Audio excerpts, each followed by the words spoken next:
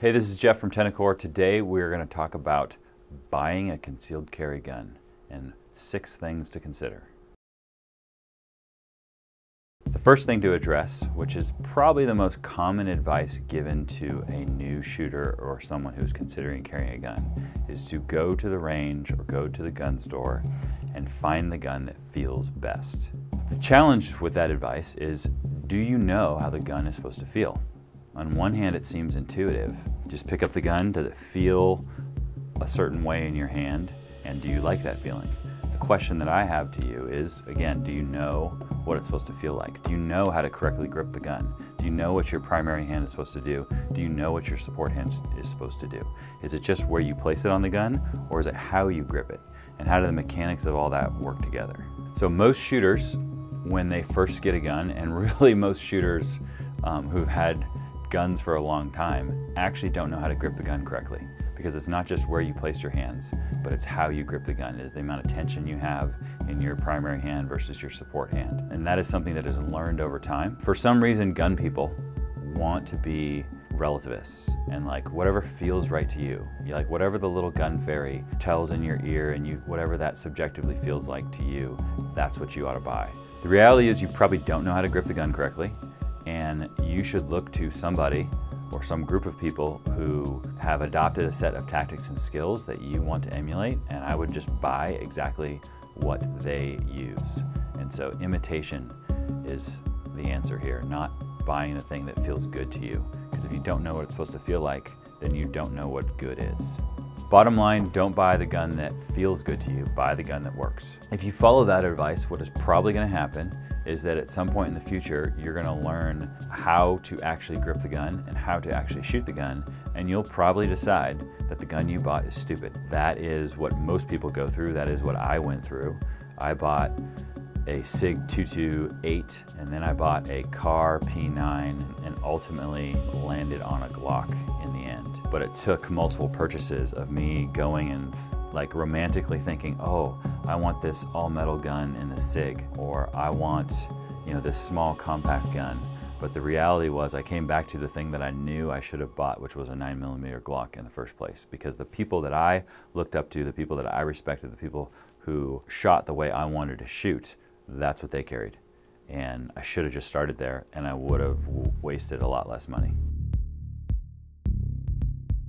The second thing we want to talk about is size. So oftentimes people are hyper focused on carrying the smallest gun possible because they feel like that is going to be the best thing for them. The challenge is that the smaller gun is for sure easier to carry, but the smaller gun is harder to shoot. So the idea of smallness versus largeness right? On the one hand, the small gun is easy to conceal. On the other hand, the larger the gun, the easier it is to shoot. If you're just interested in teaching somebody who particularly has a small frame or small hands to shoot, you actually want them to use the biggest gun possible, right? The biggest gun that will allow them to grip the gun correctly, and that will provide them with the easiest learning experience. And so the idea that you'd buy a gun, maybe a mid-size or full-size gun as your first gun I think is generally a good idea and that would be the gun that you would learn on and train on.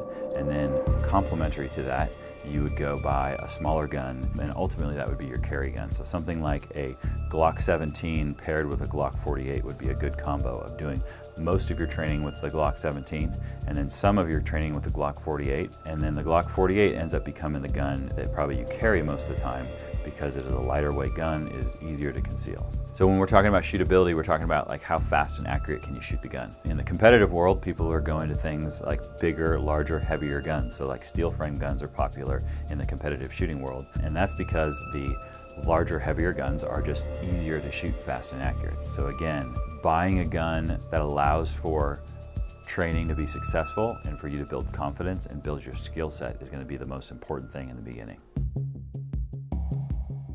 The third thing to consider when buying a new gun would be reliability and durability of the gun. So reliability would be um, how often does the gun malfunction, and durability would be do you have parts that break, right? Those are two different things. There's an aspect where you don't know, right? You're buying this new item that was made in some factory somewhere, and you're getting the gun, and you don't really know for sure whether your gun is gonna work. It is just a mechanical device, and all mechanical devices can fail. However, there are some mechanical devices that are not designed to the same standard and manufactured to the same standard as others.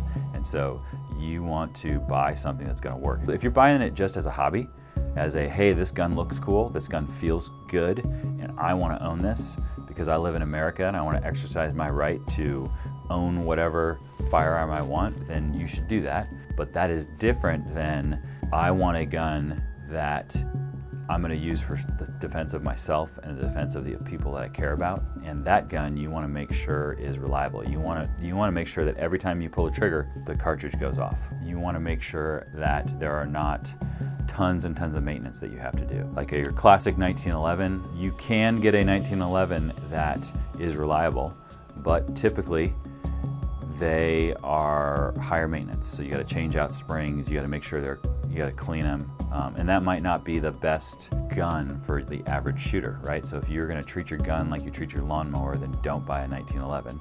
Buy something like a Glock or buy something that is a polymer framed gun. Another thing to consider would be what guns have been tested and adopted by large government agencies. You know, certainly there are politics and other things that can be at play in those tests, but generally speaking, the guns that are adopted by large government agencies have gone through some sort of testing protocol. And if it is past that testing protocol, then it probably is going to work out better for you than something that hasn't. It's great that there are gun companies out there, either new gun companies or other gun companies that are experimenting with things.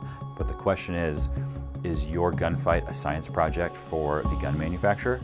Or do you want your gunfight to be the thing where you have a reliable gun, you have reliable tested equipment that is going to help you and support you to be successful in a violent confrontation. Another consideration for buying your first gun is going to be aftermarket support. So often people don't think about that. They think, I start with a gun and then they are like, this gun's super cool. They go out and they look for a holster, they look for sights, they look for a red dot, you know, plate, a robust mounting system. They look for all these things and they can't find the stuff that they want. The better way to think about the whole thing is start with the support equipment. Holster, what light, what trigger, what sight, what whatever are you gonna put on the gun and why?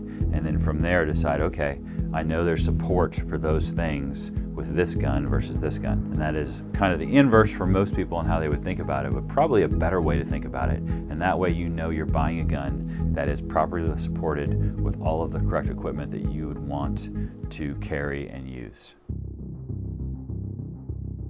So another common question or thing that people try to work through, particularly for a newer shooter, is what caliber do I buy? Do I buy a 9 millimeter? Do I buy 380 auto? Do I buy 40 cal? Do I buy 45? Like those are interesting and fun debates.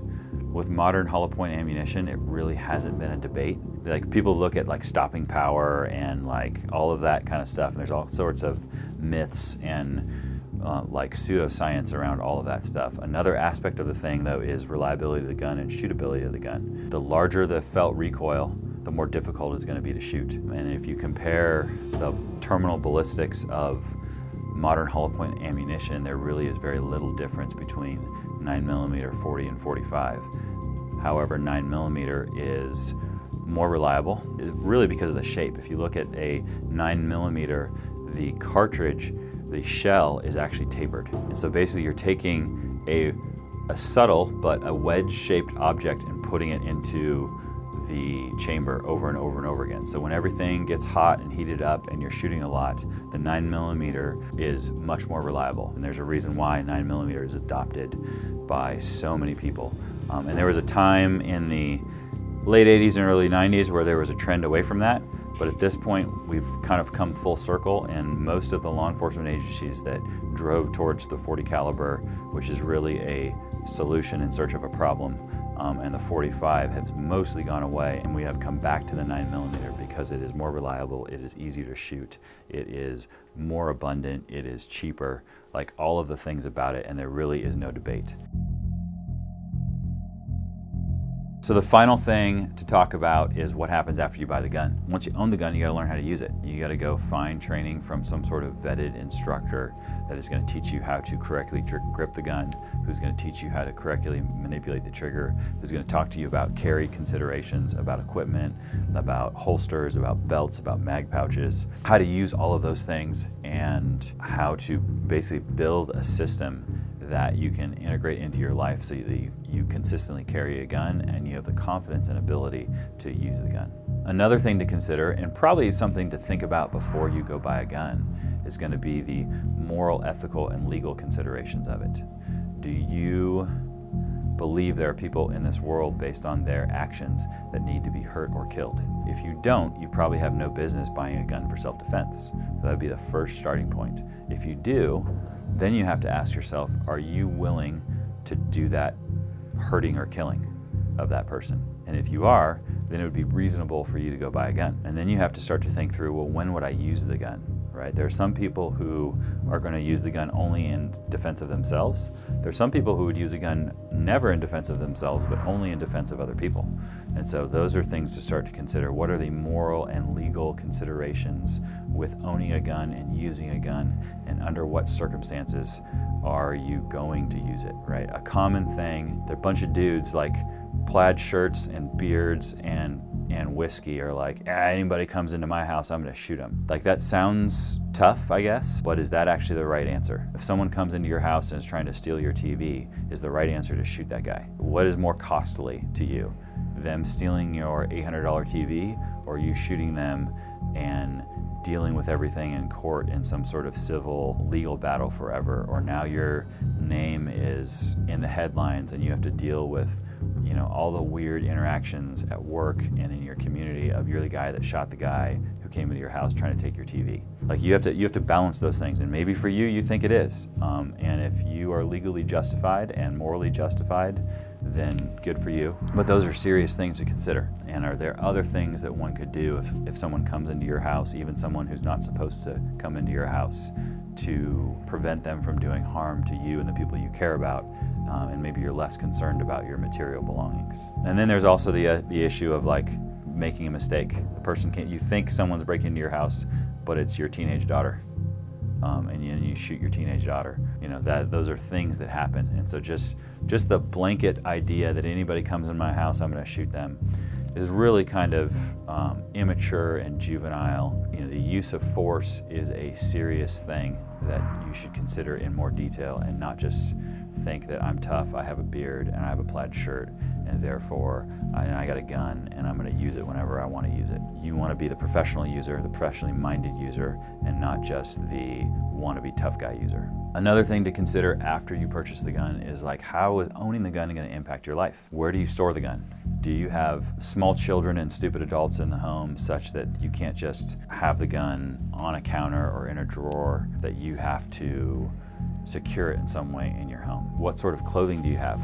Does, your, does the gun, the size of the gun, the shape of the gun, the, how you carry the gun, does that fit with your clothing? Um, does it fit with like your coat, your jacket? Like all of those things are considerations for owning a gun. If you've decided I'm going to buy a gun and I'm going to pretty much carry a gun every day for the rest of my life, that's going to drive a whole bunch of behavioral things. It's not just like where you store the gun and how you carry the gun, the clothes you wear, but then like do you drink alcohol? And what does that look like? Do you go into a bar? What does that look like? Do you go over to a friend's house? What does that look like? There's all sorts of things that introducing the gun is potentially going to change all sorts of things about your life and or perhaps should change all sorts of things about your life. And so those are things that a professionally minded gun owner and gun user is going to, they're going to think about those things and they're going to make lifestyle choices and lifestyle decisions based on now the fact that they've integrated this gun into things. Another thing to consider, like does the gun give you more confidence and more boldness to insert yourself into things? Or does it actually make you more hesitant to insert yourself into things, right? So if you're somebody who's kind of a hothead, you get in arguments with people, you stick with that and you start getting into arguments with people, and now that maybe there's a little bumping or shoving or whatever, and there's a gun involved, that is potentially a gunfight, right? So you got to think about your ego and your pride and what are you willing to do and walk away from? Like disrespect. Like, is that a thing that you need to worry about? If people disrespect you in some way, do you need to go prove yourself to them? If you're someone who's carrying a gun, again, that potentially is catastrophic. And so those are those are lifestyle considerations of how you carry yourself, how you act towards other people, the clothes you carry, where you drive, where you go, where you eat dinner, who you hang out with. All of those things are now things that you're introducing a gun into your life, and you potentially should reconsider some of your lifestyle choices. So the easy answer for all of this is a 9mm Glock, starting with a Glock 19. That is, the Glock 19 is maybe at this point the most universally used gun um, by professionally minded people. It is a great balance of concealability and shootability and reliability. Most people, when they're designing a size of a gun, use the Glock 19 as the standard. And so that is probably the place to start and probably the gun for most people. There are probably more of them out there than anything else. They are commonly adopted by large government entities. It is a known commodity. For the United States military, if the unit or the group has the choice of what gun they choose, they're probably using a 9mm Glock and not what is the standard issue gun of you know, the big army or whoever else. Like I'm not romantic about it, I don't really care, but it's just a known commodity and you know it's gonna work. There are things about the 9mm Glock that people don't like and all of those things, you know, whether it's the ergonomics or the trigger or whatever, yes, those are issues, but you know what you're gonna get and it is consistent and reliable. Going up from there, in the Glock world, you know, going to a Glock 17 or something like that makes sense from a shootability perspective. The longer grip of the Glock 17 makes it harder to conceal. And really, grip length, not barrel length or slide length, is the hardest thing to conceal. And so going down from there, you can go to like a 43X or a Glock 48, and those are gonna be easier to conceal, but they are not gonna be as shootable. So that is a, those are things to think about. A Glock 48 paired with a Glock 17 is a good combo. Um, with a Glock 19, if you want one gun to kind of do everything, is kind of the right answer. There are other guns out there, so like a Smith & Wesson, M the M&P family of guns. They're well-tested, good guns, particularly the generation, the 2.0. The CZ guns are decent guns. The Walther PDP guns are good guns. HK makes great guns and they have for a long time. They just are not as common. And so if you're thinking about aftermarket support, it's gonna be harder to find stuff. So those are the guns that I would probably start with. And then if you're into guns, you wanna buy a bunch of stuff, then buy whatever you want and buy a gun, test it, buy a bunch of ammo. 5,000 rounds later, if you find that to be a reliable gun that you're willing to trust your life to, then stick with it and carry it. Thanks for watching. If you have questions, post them in the comments. We'll try to get to those as soon as we can.